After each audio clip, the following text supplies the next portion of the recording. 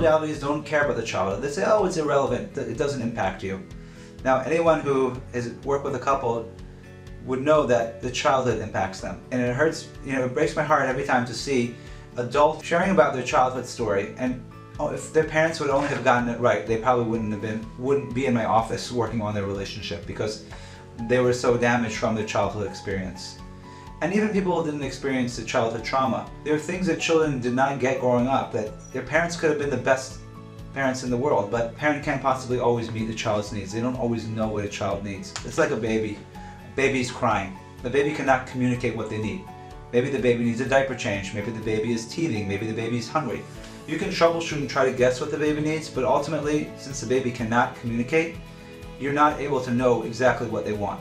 So you may be lucky and you may their needs, but you may have them still crying. So the idea is that we grow up as children and we have unmet needs. And it doesn't mean our parents were bad. It's, it's even just our perception of what we didn't get growing up. It's our experience. But because of that experience, it becomes etched in our psyche and we're looking for someone who's going to be able to heal that. So we look for someone who's going to kind of push those buttons and do the same things to us that we experienced growing up so that this time we can get them to do it right, to get a, give us what that parent did not give us. So it's a totally different approach.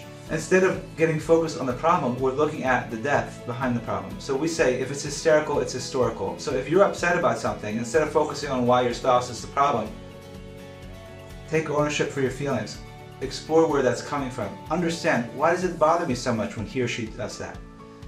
And not only does that help you be able to make a decision of how you react when you're triggered, it also helps your spouse have more compassion for you. And what that means is, if your spouse hears you complaining about them all the time, you don't care about me. Well, your spouse will be defensive. That's not true. Well, look at all the things I do for you.